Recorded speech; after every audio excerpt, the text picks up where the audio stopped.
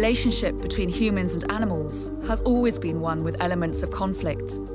But as the number of people on the planet continues to grow, it's becoming increasingly strained and imbalanced. With the world's human population approaching an extraordinary 8 billion, sprawling settlements and activities are encroaching on animal habitats more than ever. Scientists estimate humans are driving species extinction at around 1,000 times the natural rate, largely due to habitat loss and climate change. We urgently need to find better ways to live together on our shared planet. I'm Juliette Pearce and I'm here in Brisbane, Australia to see how a team of scientists and volunteers are helping koalas to survive the urban jungle. And I'm Russell Beard in Bangladesh, where the locals are learning to coexist with their tiger neighbours.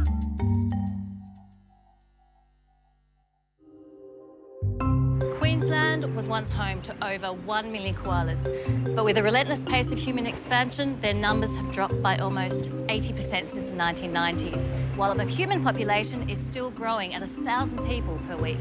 And that number is only set to grow, putting further pressures on surrounding wildlife.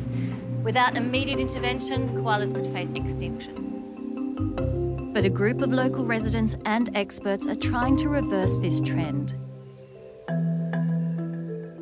The lush land that hugs Australia's east coast is one of the most desirable places for human settlement, but it's also prime koala habitat. As a result, increasing numbers of these marsupials are being forced to live within the city. John Hanger is a wildlife vet and founding member of the Koala Research Network. You brought me to this, an area that I would have thought you couldn't possibly have koalas because it's so busy. Mm. Why, why this area? This park really illustrates, I guess, in a really good way how the, the, the threats that urban koalas are facing. They get killed Crossing. on the roads um, because often they cross at night when they're difficult to see and drivers just don't see them, so they'll often get killed on this road. In fact, this road is uh, uh, really a hotspot for koala deaths in the area. Certainly when they get on the rail lines with a busy rail line where you've got trains running every couple of minutes, they're exposed to really significant injury and death, obviously. And so there's really a whole range of threats that they're exposed to in this sort of environment.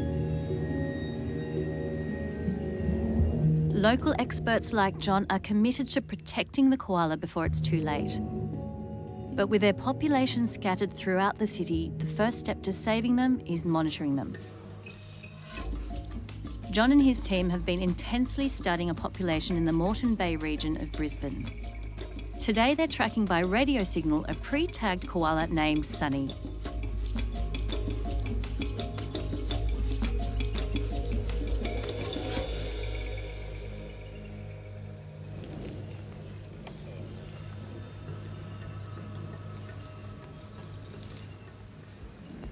So the guides are heading up the tree now. Got to be quiet to catch a, capture a koala so they can then check it out for the health check later on.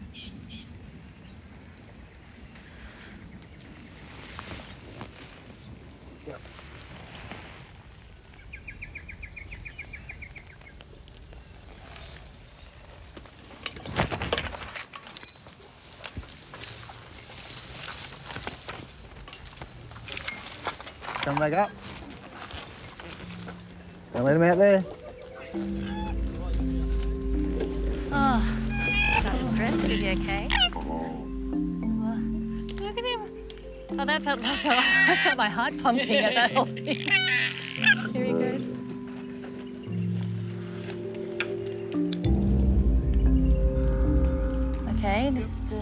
Food for the koala, just like this. Just like that, perfect. What, on top of his head?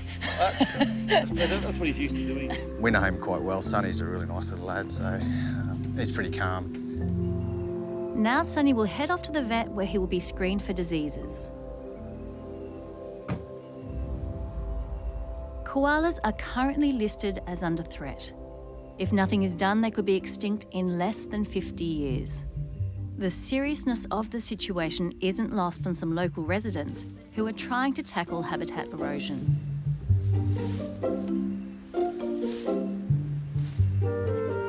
Hi, Vanda. Hi, how are you? nice to meet you. Nice to meet you too.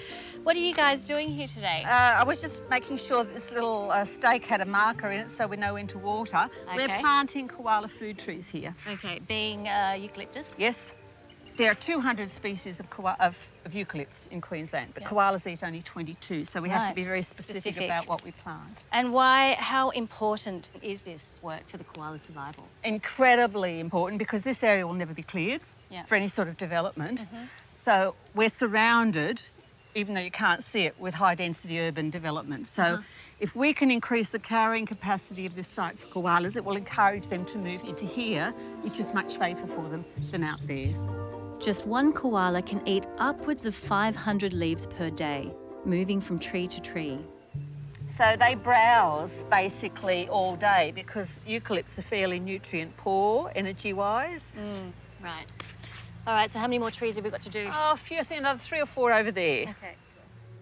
Planting trees provides one solution for protecting the koala. But as urbanisation continues, roads and railway lines will inevitably expand, putting these animals in harm's way. Currently, up to 300 koalas are killed by vehicles here each year. But I'm meeting up with vet John again, who wants me to see an intervention which is making a difference at a railway line. It's essentially a water drainage culvert, but there are a few additions. There's a post and rail to help the wildlife get off the ground. How do they know to use these culverts? Well, I guess initially they don't know, Juliet. They, they, they're familiar with the habitat as it was, and when we put these impacts in and change the landscape, they have to learn to use it. Um, but the essential features really are that we, we put a koala-proof fence along the rail corridor, and that ensures that they don't go onto the rail corridor and get killed. And if they do work their way along the fence, ultimately they'll end up finding one or more of these culverts. And so with a bit of exploration, they'll, um, they'll often go through. To get an idea of how effective they are, John and the team have put up motion sensitive cameras. And these, these show a range of, of wildlife using the culverts, including the koalas. Yeah, so here's a koala going into a group of culverts who explored a culvert but didn't go through it. And then we've got a, a group of kangaroos using it. A possum, another koala at a different culvert, and then coming out the other side is one of our koalas Helping koalas navigate the urban jungle is essential to boosting their numbers, but the most significant factor in ensuring their survival is disease prevention. I'm back at the clinic where Sunny, the captured koala, is ready for his checkup. Excellent. Vet Amy Robbins is about to give Sunny a sedative. This is just to s- settle him so he can he can get his injection. Yeah, just lull him into a false sense of security. Yeah, trick him. Something's about to happen, but you don't know it yet. Oh, what a good boy. What a brave little boy. Checking teeth. Yeah, and the colour of his gums, and making sure he's got good um, refill time, which is a sense of how good his blood pressure is. And I have a look at the bladder. So this is obviously a big important thing for chlamydia. So you, it causes cystitis, so that causes inflammation of the, the bladder wall, I guess. Chlamydia has reached epidemic proportions amongst koalas in Australia, with over half the population infected. If left untreated, it can cause infertility, blindness, and death. Calculates an average. But generally, his bladder's looking pretty healthy there. Sunny is in the clear. Tell me about the significance of, you know, when you're testing for chlamydia and, and the Moreton Bay project. Disease has been shown that if you can control that one factor, then you can actually turn around declining populations. Um, so by going in there and um, doing the treatment and the vaccination against chlamydia, we've actually kind of turned that population around and it's on a um, trajectory for growth now. You know, it's phenomenal. We've never had such a big, significant project in koalas before, so it's really valuable scientifically.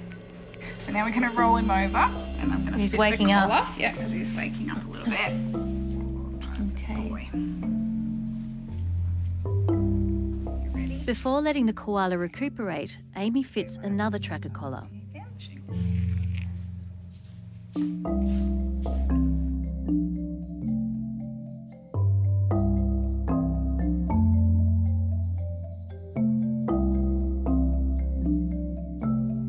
It's now time for Sunny to be released.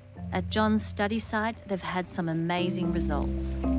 The, the fact, I guess, that we can uh, not only make the individuals healthy, but the population's on a growth trajectory now. So it was on quite a steep um, downward decline towards extinction, and so now we're, we're getting around about 20% growth per annum, which is just an Yeah. astounding turnaround. So very Amazing. gratifying.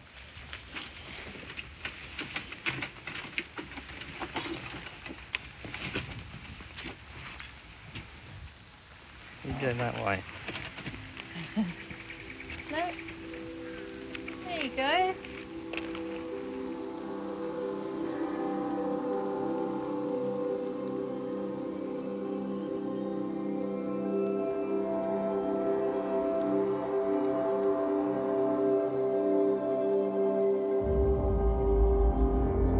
As the global population continues to grow, cities are sprawling further. More land is needed to grow food. More infrastructure is being built through fragile ecosystems. Take roads. Rampant road building over the last century has divided the Earth into 600,000 fragments. Over half of these are less than one square kilometre, too small to support significant wildlife populations. With 25 million kilometres of new road expected by 2050, the struggle for animals to survive in the face of development will only get harder. Resolving these kinds of conservation conflicts is far from simple. The solutions that work best around the world are the one where local people have the ownership of the process of finding the solution. People need to be able to value the species that they are close to. And by value, I mean perhaps culturally or spiritually, they want to have the species around. It requires inputs from all sorts of different areas of expertise. It's not a matter just for biologists. We need uh, social scientists, economists, people who know how to work with poor communities. They all have to work together to figure out how to solve these conflicts.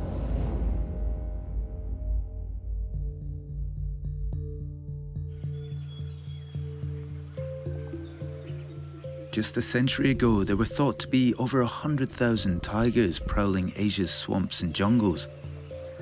But now numbers have declined by a staggering 98%. I'm heading to the Sundarban mangrove forest in western Bangladesh. It's one of the last remaining havens for the Bengal tiger. There's often conflict with local villagers who also depend on the forest for survival. I've come to meet a network of volunteers and conservationists who are coming together to try to stop the violence and save the tiger in the process. All right.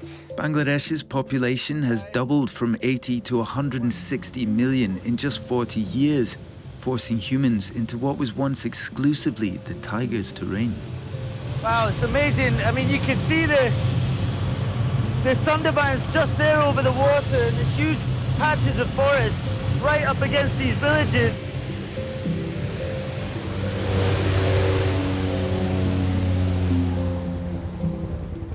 Here in Mongla, just on the edge of the national park, there really do seem to be people everywhere.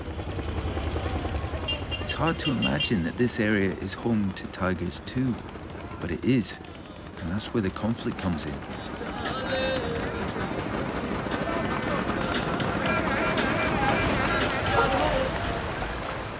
Conservationist Mahbub Alam runs Tiger Team, a network of volunteers dedicated to changing attitudes and reducing human tiger violence. How many tigers do you have here in the Sundarbans? We have 106 with the historical data, about two to three tigers killed by the local villagers every year. But if the, the total is estimated just around 100, two to three starts to sound like a very big number. But 30 to 50 human killed every year, and uh, Wow. um, around 50 30 to to 50 a 50, year. Yeah, year. And That's uh, not just a little number. 30 to not- 50 a year. This is not a little number. I mean, like one a week. Can you talk to us about that interface? Like, how are they coming into contact with people here? And what's the result of that? in some areas uh, which don't uh, have that much of uh, geographical barrier uh, in between forest and villages. In that part of Sundarban, uh, yeah, tiger uh, they comes out for the foods. uh, into the village.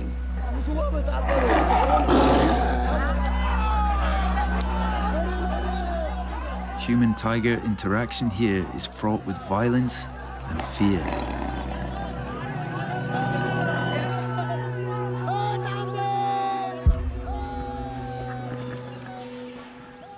I'm on my way to a village right on the frontier of a conflict zone.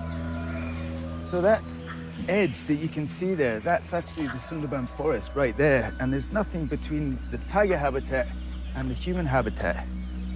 And you can understand how scary it must be because everywhere you look, there's livestock, you know. And they, they build these fences, but I mean, they're just made of little sticks and very light gauze. Here, many have not just seen tigers from afar, they've had direct encounters with them. A local fisherman has a story to tell.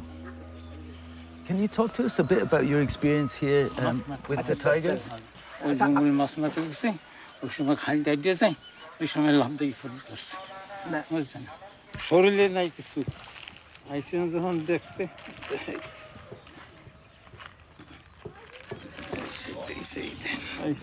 Oh, wow. Oh, my goodness. You can see the little puncture marks where it's like, oh, what were you thinking when you were on the ground? Did you think, did you think you were going to die at that point? তবে এই সমস্ত কথা কইতে গেলে চোখে পানি আসে কান্দন আসে বলতে পারি না বুঝলেন আপনারা কথা বুঝেন Sobahan escaped with his life, but those who don't leave behind families to fend for themselves. I've been told there are around a thousand women known as tiger widows in this region. I'm here to meet a lady called Rita, who lost her husband through a tiger attack 20 years ago. We know that the, the Sundarban forest is, is maybe just, you know, 100 yards away. Um, did you think of leaving? দূরে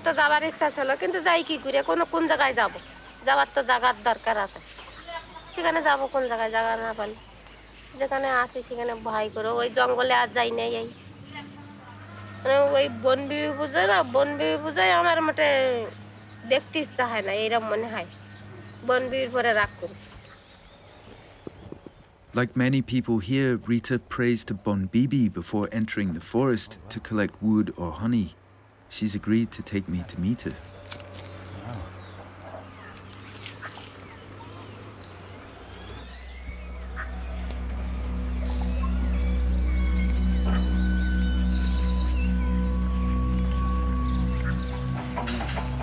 So Bangladesh is obviously a Muslim country, but this is a Hindu region, and uh, Hinduism being this pantheistic religion, many gods, this particular god is here to protect the people against attacks from the tiger.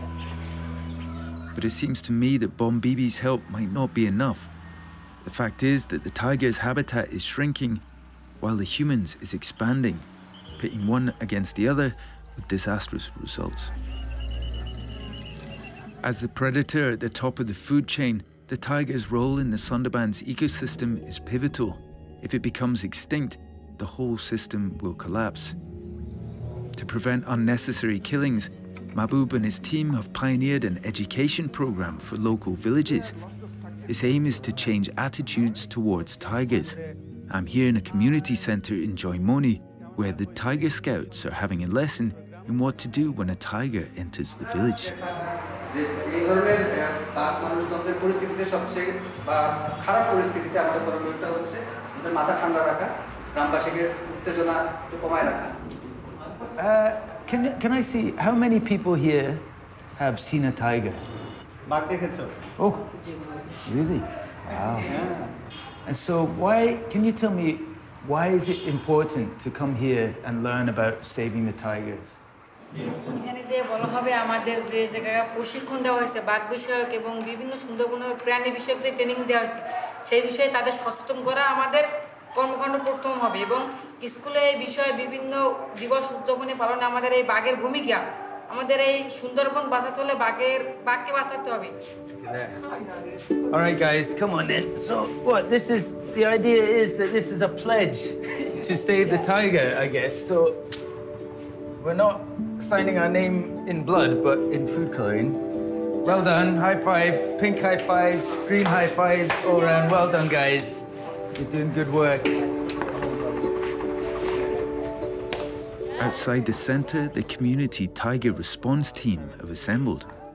How on earth do you convince a bunch of people that it's a good idea to start chasing a wild tiger? Number one motivating factor for them to saving the tigers because if they can save tiger, Sundarban will be saved and their livelihood will be ensured. চিৎকার করে তাকে দিবেন সে আবার পিছনে চলে যাবে আবার সে ঘুরে ফিরে আবার দিবে তার প্রাণী আবার আপনারা পিছনে চলে যাবেন Did you uh, make the pledge? Yeah? Let me see your hands. No? You can have some of mine. Right, let's go. যারা আছেন দয়া করে সরে যান Right.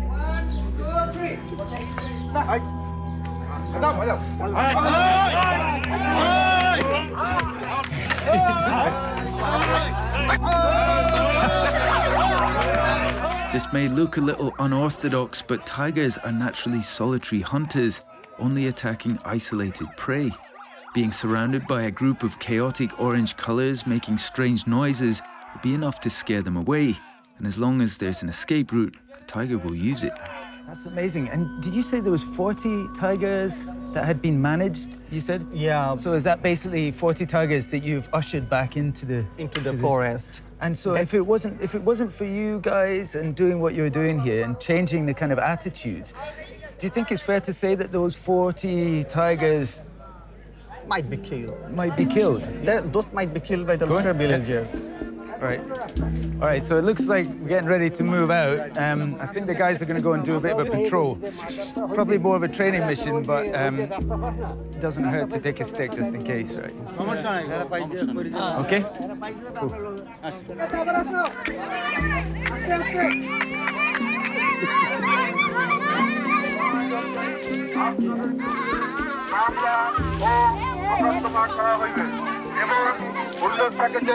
এবং উল্লেখ থাকে যে আপনাদের সমাধান সম্পর্কে আপনার They've got, they've got presents, I tell you that. It's great. The, the villagers are looking in like with admiration. It's great. জানানো যাচ্ছে যে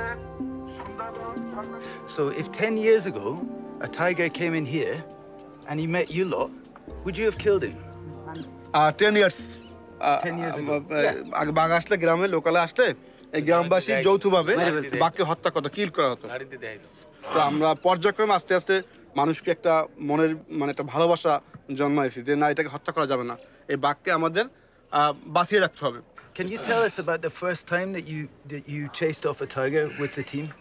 যখন লোকালা থেকে সুন্দরবনে ফিরে যেতে মানে সক্ষম হয়েছি village response target team wild টিমের সহযোগিতায়। তখন তখন আমরা তখন আমরা নিজেদের- নিজেদেরকে আমরা আহ, খুব সফলতা মনে করছি যে আমরা পারব বা আমরা পেরেছি। এই বাঘকে সেভ করে সুন্দরবনকে Very, very back করে Felix. দিতে। Very, very Felix. Can I ask, is it the same for all of you? That you, you feel the same? সবারই কি একই অনুভূতি হচ্ছে? Yes. Yes, yes, yes, yes, So you're not just saying that because the camera is here. No, no, no, no, yes, আমরা আপনাদেরকে really আপনারা feel proud কিনা? Thank you যে so আপু- much. Thank you. Thanks for, Thank for you. taking me. I'll give you your stick back. Uh, I stick feel is very back. safe Yes. around you Thank guys. There you go. Thanks so much. Thank you. Thank you. Thank you. Thank you. Well done, guys. Thanks so much. All right. Okay, listen. I feel a lot safer with these guys around, even though we know there's wild tigers right there. But they're all positive about what they're doing. And, you know, maybe if uh, in the future communities or other countries can follow their good example, maybe there's hope for the tiger yet. Thank you. Thank you. Thank you. Thanks again. Cheers, guys. Cheers, cheers, cheers, cheers.